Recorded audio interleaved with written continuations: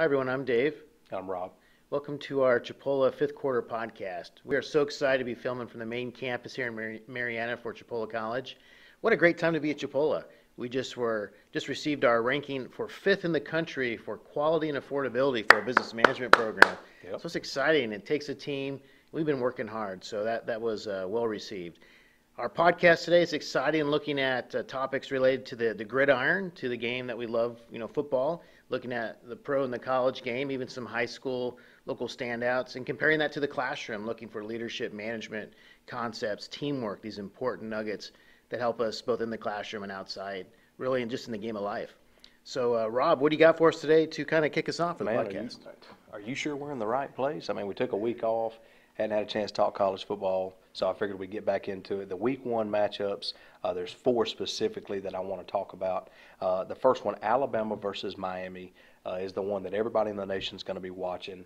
Um, I think Already solid, right? It's in concrete. It's Right. happening. Yeah, yeah. These, these are happening. Wow. These, these are these are the top four Week One football games that ESPN, CBS, other networks are going to be paying attention to. So the you can't talk, right? I mean, this is the game. If they show up and deliver, it's over. I, I mean, do you want to give an opinion too early? Do we really want to say out of Alabama versus Miami who's going to win? Wow. Are we talking the 80s or like 2021? Well, I wish we, if we were talking about the 80s, I would definitely say Miami, but you know we're a long way from the 80s.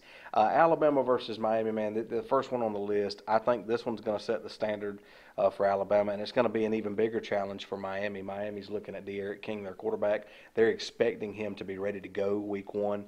Uh, they're expecting him to be healthy. Uh, they made some improvements to their offense. Uh, defensively, it's my understanding Miami's got a guy, Avante Williams II, uh, at free safety. He's one of the safety positions, free or strong, I can't remember. He's supposed to be a solid player for them defensively. Uh, I'm sure there'll be some, some moments where their defense will step up and make some plays, but overall, uh, it's going to be real difficult uh, to get past Saban's tide. So the Hurricanes, I think they're going to be ready to play. If by some long shot they could actually pull it off, wow, that would kind of put college football on its head. Though Alabama could still run the table and still win the SEC and be, you know, in the top four. Um, I think the Hurricanes will show up ready to play. And I, you would think on paper, just looking at the last couple of years, someone could say it could be a blowout. And I would argue against that. I think the Canes will show up ready to play, and maybe they'll lose by three touchdowns. Well, you don't want to speak out of turn. I mean, the the Cane. I- I'll piggyback off of that. You don't want to make a prediction too early that says, "Oh, Alabama's just going to win it all," because uh, every year after they won their second one, I want to say it was in 2012, uh, they started thinking, "Okay, it's just going to be Alabama, Alabama every year," and then you had the FSU's. Uh, when they threw the hiccup, you know, 2013 FSU comes in and wins it. Uh, then you had an Ohio State year that come in and finished them off for a championship. You had a Clemson team come in and beat them. So you don't want to speak out of turn and go ahead and just call it a year already before the, the season even gets kicked off. Uh, I say Miami shows up ready to play. I'll piggyback off of that. Um, do I think they're going to win? It's possible. Um, you don't ever want to say that that uh, a win is totally out of question for a team like Miami uh, because in recent years their their goal. You, you like Miami? Do I? Yeah. Do I really like Miami? like I mean, come on, they're a Florida team. Respect them. Can't say that I like them. So three touchdowns. Am I calling it too close, or is that too much for a blowout? well, I'm saying they'll lose by three, and Well- I call, I'm calling it close. okay, hold on just a second. Let's let's provide some context. Are you are you calling for Miami with the upset Oh no, no, the, no, the Bama. Uh, well, they're they're going to win by three I, touchdowns, I don't know. He, here's what you've got to consider. which I think will be close for them. Well, for them, yes. Alabama's got the offense, but it's my understanding that Alabama's defense is not near what it used to be within the last couple of years. Now, it, it has it improved? Yes, but is it anywhere near the caliber that it was two years ago? No. So if Manny Diaz and his offensive staff there at Miami can find a way to exploit the mismatches against this this young Alabama defense, it's a good Alabama defense, but it's young. Uh, I say Miami might might leave with the upset, maybe a touchdown, a field, uh, a touchdown Wow. at most, but a field goal at at, at the very least. Uh, but I think we both know how it's probably going to end. If I know Saban. Uh, much planning, preparation has been thought into this.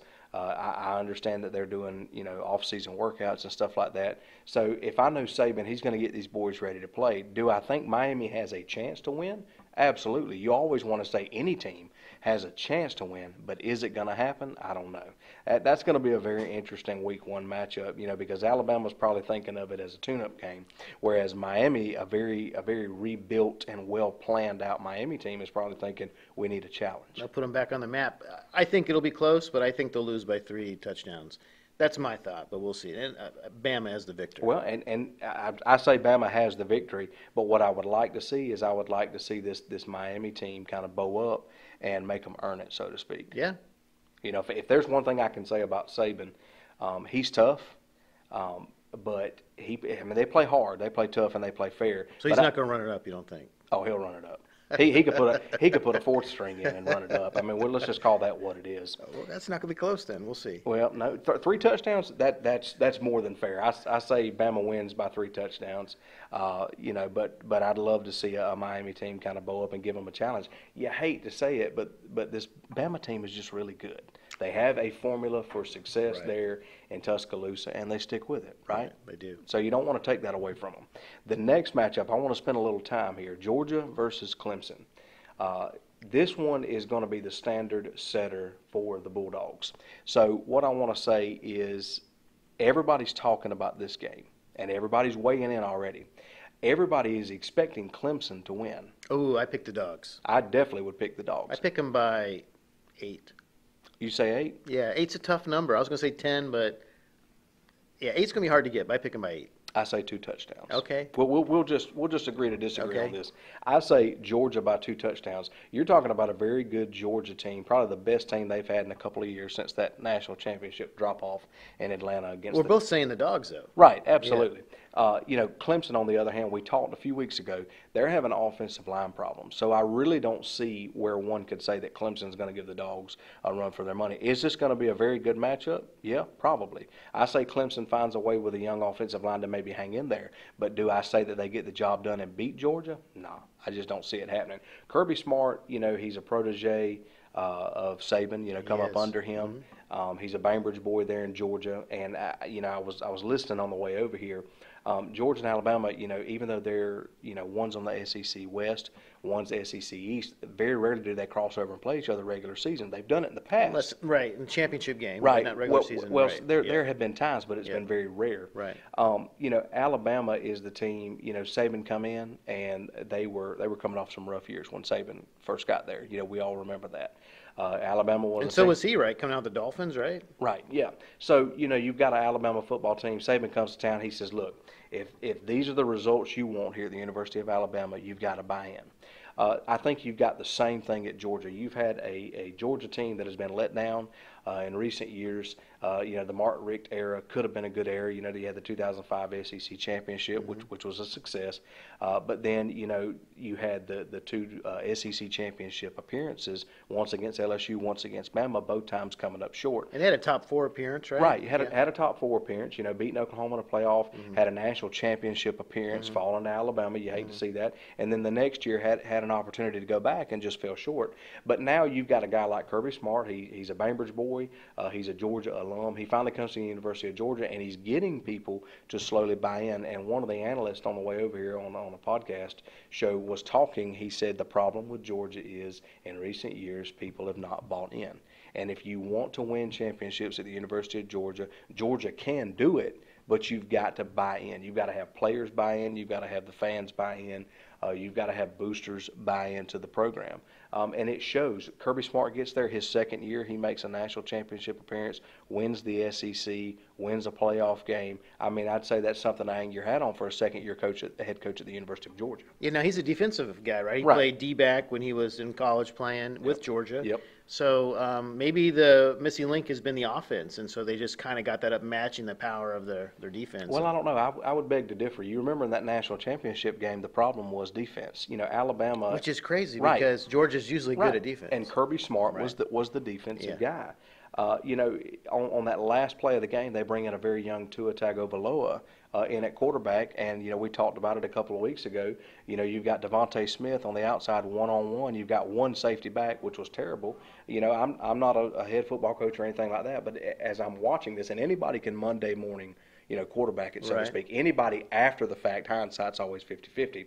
But when you go back and watch film, I watched that specific play why not just stick two safeties back? Well, the one safety that was back, You know, you got the corner gets beat on the outside, and then the safety slips and falls, stumbles, whatever happened. He ended up losing his balance, lost his pursuit. DeVonta Smith catches it. was gone. I'm talking about, you know, Tua just slung it in there, man. It, was- it was beautiful the way that pass just kind of soared. He catches it, he runs it to the end zone. Georgia's season is over. The rest is history. Yeah, the rest is history. So I, w- I would dare say that it's not offense. I would say that it's defense. I think Georgia has the ability to put games away. But like I said, the, the issue at hand is them finishing. You've got to finish. Georgia has a tendency to over celebrate, not in the sense of being cocky, but they tend to let off the gas when they've got like a touchdown, two touchdown lead. You know, they tend to let that kind of stuff get to their head. You can't do that against an Alabama team. Saban's always going to if you if you slack off, you let off the gas, anything like that, and Saban can find a way to exploit it, he's going to make you pay for it. Now, so that we called uh, talking about overhyping uh, some momentum. That that kind of lends itself to the Canes playing against Alabama. They are known for that big defensive necklace and wearing the chains. Mm-hmm. Three touchdowns. It may not even be that close, right? That was our, our first top, you know, topic of uh, Miami and, and uh, Bama. But uh, right, Georgia, I think will beat uh, Clemson, and if they can do so, then they can maybe show the country they're ready to finish. Clemson can finish, so it's gonna be tough. They're not gonna go down without a fight. Yeah. But I don't think Clemson has it now. Nah, I don't think they have the it factor. You know, you lost Etienne at running back, you lost Trevor Lawrence to the draft at quarterback. You've lost a, a very a very experienced offensive line, so I think it's going to be a rebuilding year for Clemson the next two years. Moving on, number three, FSU versus Notre Dame. Let's talk about that one. Wow. You got McKenzie Milton coming in at the quarterback position. Um, I say if um, Norvell can can keep this team intact, uh, get players to buy in, you know, kind of beef up that defense a little bit, get the offense going in the right direction, learn to finish games. I don't see no reason why uh, FSU doesn't beat this Notre Dame team by more than one touchdown. Amen. Amen. So I have to say, since Lou Holtz was at Notre Dame, haven't really been a big Irish fan. Uh, so I, I yes, I, let's pick FSU by uh, just a nice round number twelve. Twelve. that, that'd be a solid win, wouldn't it? You're- it's gonna be more like 3 you're- but that'd be, but maybe twelve. What is with these incomplete numbers? I know, Can I yeah. get a, can It's I get hard. A, can I get a seven out of you, or Okay. a fourteen, or okay, a well, a ten. We'll pick a, a seven with uh, the dogs against Clemson, and uh, a, a ten with uh, uh, the Noles against uh, the Irish. But you're but you're going FSU. You're thinking Oh, FSU. totally. Yeah, I'm not a big Notre Dame fan since Lou Holtz left. Yeah. And um, and FSU, they're ready. Yeah. They're hungry. The boosters are hungry. Well, they better be. They better be. That's all I got to say. but I don't know. Besides you and me, I don't know who else is going to pick FSU in that game. But I think we'll pick ten. I don't know. I think We could make some money in Vegas with ten for sure. Whew, don't tempt me. and Cash out a 401k early. uh, moving But on. we don't recommend that. No, we definitely don't recommend that. Please. What, what if there's some kids that watch this podcast and thinking, Dad, what's a 401k? What's Vegas? What's bets? We're going to be looked at as the bad influences. Do not do that. Uh, moving on to the to the last game of Week One opener, Ole Miss and Louisville. That's supposed to be a standalone game, a Monday night game. I want to say that's going to be a Labor Day game there in September. Thoughts on that? Wow. So um, if you could pick teams and put them in the SEC, I mean A and M is a natural fit. Missouri, kind of that, you know, tough nose, you know, fighters. You know, they want to go down to the to the last minute. Louisville could be an SEC team. You know, they they've been known to have great offenses, but they're tough, a tough team. Um, I don't know. I think Louisville might pull that out, though. Ole Miss has some momentum. You like the the Manning connection, but uh, I predict Louisville by. And let's go with the round scoring numbers Yeah. by three. By three? Okay, that's fair enough. Considering how Ole Miss doesn't even have the defense, you know, Lane Kiffin, head coach there at Ole Miss. Great offensive guy. Yeah, he's a great offensive guy, but the problem is Ole Miss doesn't have the defense. Louisville ACC team, Ole Miss SEC team. Ole Miss has had its recent, you know, fair share of giving even the Tide, you know, a run for their money a couple of seasons, um, but it's been very rare. Uh, I say Louisville by, you know, a field goal. Um, I don't think Ole Miss is, is, you know, with them not having the defense, I don't think it's going to pan out well for them. I think this game will probably be a shootout to the end. Uh, and it, I dare say it may come down to a last minute field goal, maybe three seconds left on the clock, two seconds. Could be two, we could be way off in left field about these predictions, uh, but that that's probably where I would I would leave that one at. I, I say Louisville with with the upset on that one. I'd say speak for yourself, man. I think I've been calling these spot on. Oh, have you? You and your We'll uneven numbers, right. predictions. What about the Bearcats, man? Where are they? uh, Cincinnati? We they don't. I, they barely lost to Georgia. are you trying to irritate me? No. But I wonder who they're playing, though. I think that'd be a good game. Yeah, I, I'll have to. Maybe look. they're playing Toledo or something. Oh yeah, very very tough. Navy. Yeah, Navy. Oh yeah, yeah. And that's something else. Hey, Navy, Army, Air Force. I love watching games like that. You Most know, th- certainly. those are those Triple are, wishbone. Hey, absolutely. Georgia Tech. You know, the, you got the, you got the wing T offense, Yeah. the flex bone offense. That's right. Those are actually some very interesting games, to be honest with you. Um, those those are the the top four games to pay attention to in week one. Um, experts talking about Auburn being the team to watch in the SEC. Uh, they're pegging them with one of the toughest schedules this going into the 2021 season. Uh, and in a lot of cases, they're saying that their schedule is high risk, high reward. They're, they lost a defensive tackle. They got a guy like Bo Nix at quarterback taking snaps. Uh, I don't see how Auburn is the standard. Um, I don't even see Auburn making the SEC championship. I, I say Auburn finishes uh, maybe just over 500, but I don't see Auburn being the standard this year. So who are they playing outside the SEC? I really don't even know. I didn't even look that much into it. You know, the, a lot of this. Well, you were saying that really up and coming team, Idaho State or something. Oh playing. yeah, very very up and coming team. I don't even think it's Idaho State. And and I said this on the way over here. Like other than their SEC opponents that they have to play, which there's what eight of them. Oh, they're all winners. Yeah, um, but here's the deal. Like, other than Alabama uh, and Georgia, because that now that's the deep South oldest rivalry. Florida. Uh, yeah, Florida. Well, I don't even think Auburn plays Florida. I don't even think they're in the same. Mm, I want to say right. Auburn's SEC right. West, Florida's That's SEC right. They would have to pay play a championship. Yeah, they'd right, probably yeah. have to play a championship game. I definitely don't see. I, I'm gonna go ahead and go out on a limb here and set this in stone. I don't see any way that this Auburn team beats this Georgia team this year when they play them in regular season. Now I do know that Georgia and Auburn play every year uh, because it's Deep South's oldest rivalry. Uh, Alabama Auburn for the Iron Bowl. Don't make me laugh. Alabama's gonna wipe the floor with them. So Auburn could have two losses Yeah, potentially. and still be one of the best teams in the country. That's tough SEC, But man. but do they? I mean, are they even playing other than their SEC opponents? Are they playing any top 100 schools? I mean, the the, the I'm argument. sure they're playing top 100. Well, the argument can be made though that they're playing cupcakes, which the, the same thing can be said about Alabama. But then Saban kind of rebutted that two or three years ago and said, "Look, if you if you know some pretty good teams that want to play us, get them to sign. You know, get get them to sign up and play us." Um, I don't think Auburn's going to be the team to watch in the SEC. Do they have a tough schedule? Maybe. Maybe by their standards they have a tough schedule. Uh, but it's my understanding Bo Nix is not performing well. Hasn't performed well. He's I mean he's probably finished 57 to 60 percent on his passes, which is decent. Uh, but They got a new coaching staff. yeah, they got a new coaching staff. You know, they got rid of uh, his name escapes me, Gus Gus Malzahn. They got rid of him. Where did he, did he get picked up anywhere? Or is he just UCF. okay? Yeah, I want I want to say he comes to, to Central Florida. I think that'll be a solid fit. national champs UCF, I well, Associated Press. yeah, yeah, Associated Press. Malzahn's the kind of guy that if you want to get eight, nine, maybe even ten wins, bring him. You know, you figure his first year there, that Auburn team made it all the way to the national championship against Florida State, just couldn't pull it out. Ever since then, Auburn's been trying to get back there. Uh, you know, before Malzahn, you had uh, what was his name, Gene Chiswick. Gene Chizik comes in. You had Cam Newton and Went some of those guys. undefeated. Yeah, and won a national championship. But now, you know, you don't want to peg all that on Malzahn. The problem was, you know, that Florida State team that year was really good, and they knew how to finish ball games. That Florida State team in 2013 was that they were a second half team, if we're just being honest. So UCF, um, with him there, he could probably uh, be a top ten team every year, because the strength I- of schedule, if they go undefeated every year, Well, I would say that's fair. I- are they in the American Conference? Yeah, or I? I want to say UCF's in the American. Yeah. Yeah. so that'd be pretty solid. Um, and lastly, experts are claiming Florida's going to be the next contender for a title. Don't know how to feel about that. Wow. The Gators Wow. being a contender for the title, you know, you figure their Heisman Trophy winner benched after the first quarter, first or second quarter uh, of a bowl game. Heisman Trophy contender. Yeah, Heisman Trophy Yeah, contender. yeah. You know, he's benched after the second quarter. I want to say it was the first or second quarter. I know it was the first half he got benched. Right. Uh, in a bowl game against Oklahoma, which they got blew out 55 Yeah. to 20.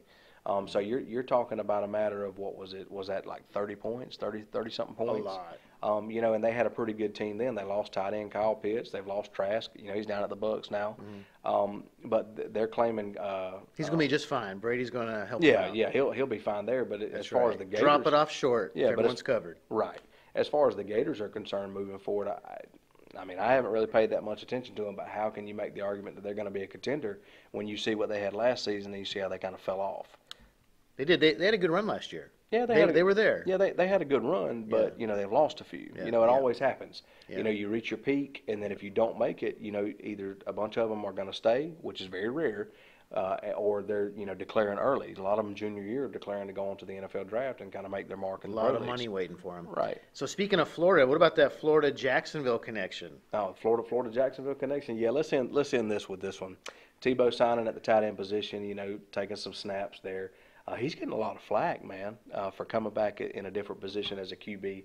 Here's my thing: I don't understand. You've been following some press though. Is it Yeah. positive press? Uh, it's negative. Negative. Yeah, there, there's a lot of people saying, you know, he should have just stayed out of the league. You know, he's kind of washed up. He's in his 30s. Uh, but here's where Still an Right. athlete though. well, he's an athlete, but here's what I'll rebuttal. He came and tried out, and the coaches obviously saw something in him. Uh, according to Urban Meyer, he said that his assistant coaches watched his workout and said, "Hey, he's he's actually doing really well for his age. He's doing real good in his workouts." They told him at first what he needed to improve on. There was a few minor things he needed to improve on. He goes, works on them, comes back for another workout, and Meyer's uh, assistant coaches say, "Hey, man, this guy's good." So they sign him. I mean, he's good for any age, really. Right. Well, he's, he's like 33, 34, Yeah. and a lot of people are saying that's the age that tight ends are kind of washed up. Well, I Brady's like 54 though, right? well, yeah, but now we're kind of comparing apples to oranges, though. Brady's playing, Right, at quarterback. You're, yeah. you're talking, yeah, You're you're, you're talking about a guy that played QB in the league, right. Someone Yeah. who has to earn it in the trenches is right, much different. Right. Yeah. Yeah. You're talking about a guy that that played QB a few short seasons in the league. You know, he went from the Broncos to the Jets. Uh, you know, he he had a, a run with the Eagles a little bit. Uh, he hadn't taken a snap in about six years. Hadn't played in the league in about what five, Yeah. five six years, something like that. Now he's coming back in a different position. He's getting a lot of flack, but I seem to remember a Michael Vick. You know, when you know all the, the stuff that happened with him, he, he got out of prison and everything. He come back into the league, uh, signed with the Eagles, and it, you know I remember a lot of games in the second half where he was carrying them. That's right. You So know- if Tebow makes the team as a backup tight end, a special teamer, you know, kind of a third string quarterback. Oh, let me stop you there. He, he's going to make the team. they're I- go- they're going to sell tickets. Oh, definitely going to. It's a it could be a business move, and it's great. I mean, you bring in some some uh, you know the younger generation, have someone mentor them. I mean, it's a win-win. Well, here's what I want to say, and I don't want anybody to misunderstand me at all. I Tebow is a great guy, very good role model. I, I will go out on a limb and, and definitely say that. Very good role model, very great person like him. Uh, even as a football player, he's a he can be a He's a really good football player. Now he hasn't played in a while, but I still say for the shape he's in, he'll probably produce. I mean, he's a hard worker. Uh, he's competitive. I'm concerned that Meyer made this move um, with the understanding of if something happens to Lawrence. Now, I'm I'm totally just just predicting this, but I think Meyer made this move so if something happens to Trevor Lawrence, he can say, "Okay, Tebow, we're we're going to kind of start rotating you in at quarterback and give you some snaps." So it's really a win-win for the Jags because if something happens to their their rookie that they put all their chips in on, you've got a guy like Tebow, and, and you're not leading with them because the haters come out when you're leading with them. Right, the haters always come out when you're leading with them. But here's the deal: when Tebow played with the Broncos, I remember a playoff game where he threw In 80, Pittsburgh. Yeah, he he throws what an 88-yard touchdown pass um, to Demaryius Thomas to finish off the game. Yeah. Statistically, when Tebow was QB, you know the last five minutes of the game, Tebow was the guy that you wanted to take snaps under center. And he'll move the chains. Yeah, he'll definitely move the chains. I say as tight end, he's a very good blocking tight end. Three or four yards if you need it, Tebow's going to be the guy. Uh, but I also say Meyer made this move. Number one, because they have a connection. University of Florida, two national championships. Tebow was a part of that process. Heisman. Yeah, definitely a Heisman winner. Um, but I also say that if something happens to Trevor Lawrence, Meyer is thinking, okay, we keep Tebow on, and I'll even go, I'll even do you one further. I say Tebow doesn't get as many snaps at tight end so that he can be preserved just in case that happens. You may see him on one offensive series or two, but it'll kind of be spaced out. It Right. won't be every single offensive Right. series. I still say Meyer is saving Tebow in the event that something happens to Trevor Lawrence, and anything could happen.